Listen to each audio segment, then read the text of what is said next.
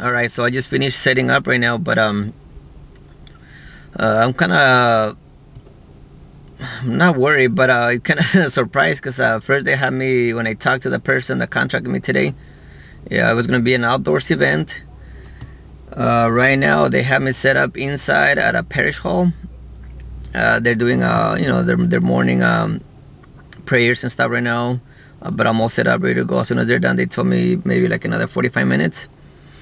But uh, they, I hear them talking about, you know, kids are gonna have a fun time. They're gonna have an exciting day. You know, they're getting ready to dance. But uh, I didn't bring any DJ lights since I was gonna be uh, contracted for an outdoors event today. So we'll see.